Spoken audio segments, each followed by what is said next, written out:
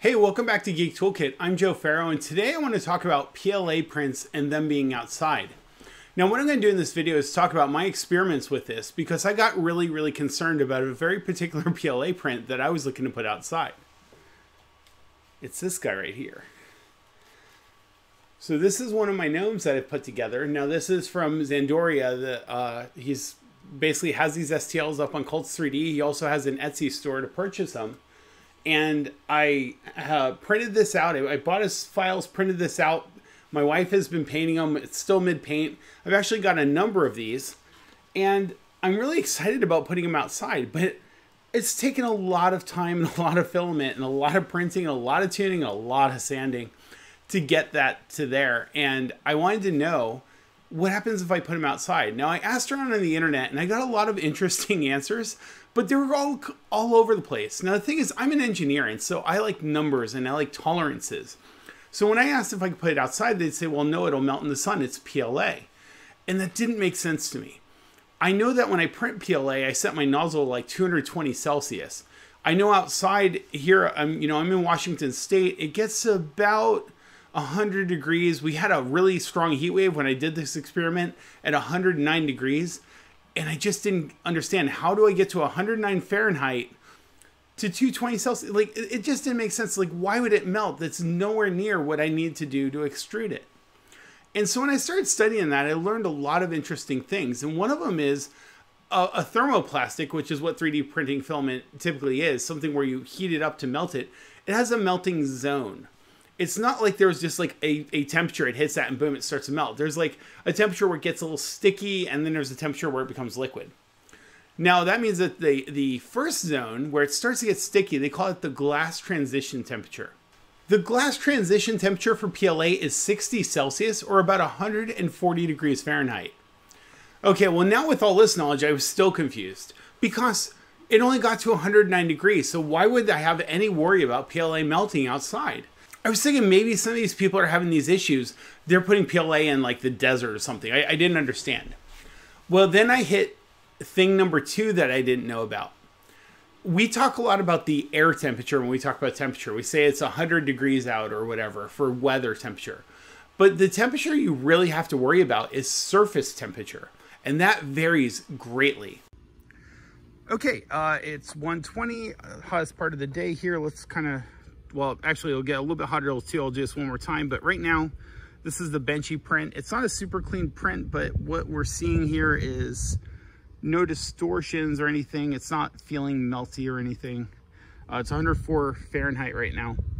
This right here is a wire holder. It's not bendy at all, and this was, a, I think, a 30% infill. It's definitely got more infill than some of these other prints. This is a 5% infill uh, Death Trooper skull. I'm not seeing any warping or anything. I'm pressing on this.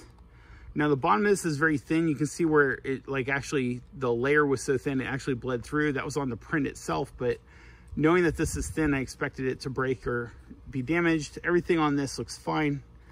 These are all raw PLA prints. There's no priming on these. Uh, this one, however, is primed. This is a dwarf, or I'm sorry, the gnome from Zandoria uh, his creations on Cults 3D. The leg broke off because they dropped it on this concrete. My daughter painted and this was primed. You look at the top of the hat here, I'd expect that to be flexible, nothing there. Uh, this is here. Now where the leg broke, it's kind of handy because you can see the infill. It's 5% infill. So not a lot going on here for walls or infill, but this thing, you know, even the beard here, pretty stable. So uh, prime print looks pretty good at 104 Fahrenheit.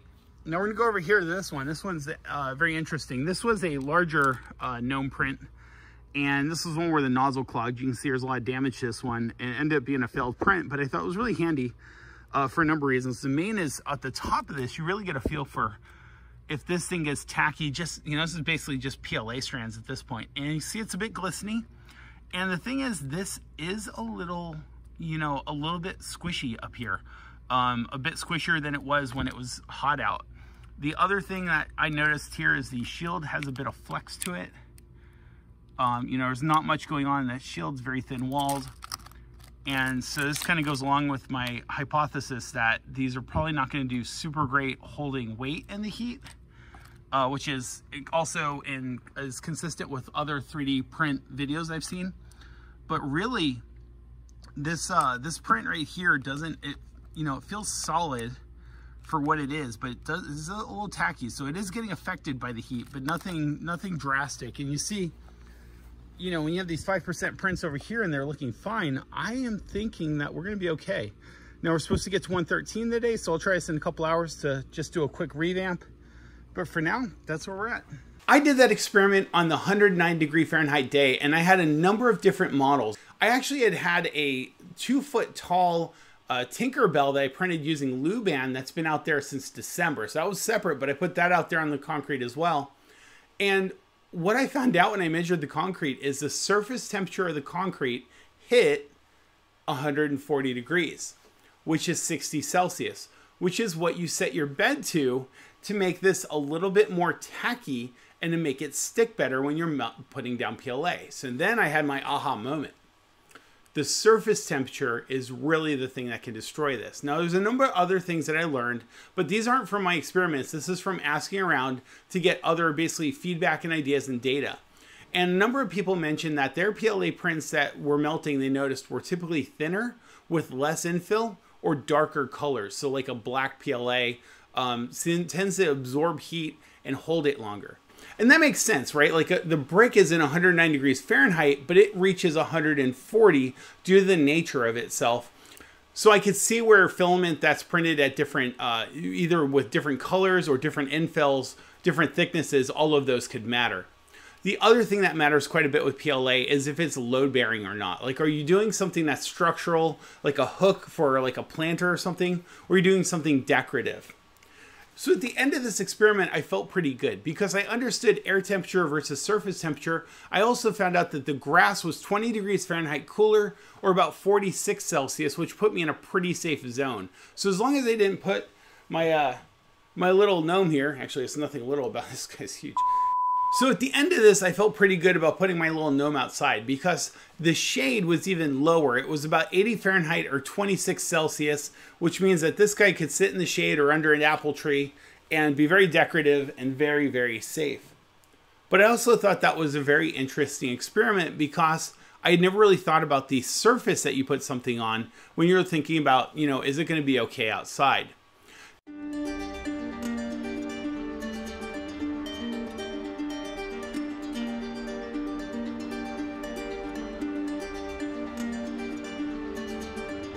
There's two other factors that you have to consider about being outside. One of them is humidity and how something affects is affected by humidity. Now, the PLA print that I had outside that actually got snowed on and that's been out there for six months has been fine. That was the Tinkerbell print. But, however, I have primed that print. And I've also primed this gnome and, of course, painted them. And that was my plan for anything that was going outside. So that is something to think about is if you're thinking about humidity, it's like, are you priming it, which kind of gives it a bit of a seal and a bit of protection against moisture. If you're going to put a raw PLA print out there, then you might want to consider priming because it's probably going to expand or contract, or you also might have the layers separate. I've seen that in other things, but I didn't see it in my experience, but they haven't been out there long enough. So I'm going to have to do a follow-up of this to say, how do these things do in the rain? And living in Washington, that'll be no problem to find out.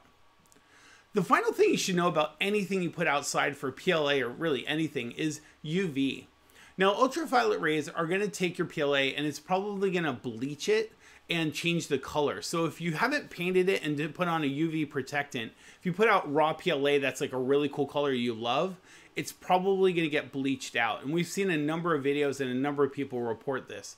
So be aware of that. That's something else. There is a UV protectant that you can put on um, prints. You can prime them, paint them, and then put a UV protectant on. And that's what I plan on doing with my gnome here. My goal of this video is to actually follow it up in about six months or a year and say, how are these things doing? Because I will put them outside now that I feel like they don't have any danger from the heat. But I am a little bit worried about UV and moisture, so stay tuned for that. I want to thank you for joining me for this episode of Geek Toolkit. I'm glad to be out of my like basically my project month where I built a bunch of stuff and back to filming. We're going to share a bunch of these projects with you. I'll share a bit more about Luban, which is how I printed that gnome so tall, and also the Tinkerbell. Uh, that was a 24 inch tall print. I did these on Ender 3 Pros. Now those Ender 3s, they're not modified or anything. I basically printed them in sections uh, using Luban, and then I put them together. Another video I expect to do soon is actually talking a little bit about how I finish these. There's a number of things I learned about finishing prints as far as smoothing them out, sanding them, and actually scraping them with a couple of tools and stuff to get them uh, basically as smooth as possible. I also learned some cool tricks like using super glue to actually smooth out a print really quickly, and that worked really well. I was really surprised by that. There's also uh, primer, like filler primer that you can use. So I'll just do a video and talk about all of that stuff I learned in a future video. You see the latest version of Dynaframe behind me here. I've actually put a lot of work into that. I'll be doing an update there. By the way, I want to mention a really cool geek tool. This right here is a laser thermometer. They're really inexpensive. They basically shoot a red laser dot out, and when that hits, they give you a measure of the temperature and then they keep track of the highest temperature on them. I'll put a link to Amazon below when I find one so that you can take a look at these things. Normally they're pretty inexpensive, but this thing was super useful for this video for figuring out things like the concrete, how hot it was versus the grass and shade and so on. Very cool infrared thermometer, and it's just fun to kind of shoot lasers everywhere and see how hot things are. Thank you for joining me. I'm Joe Farro Geek Toolkit. Until next time.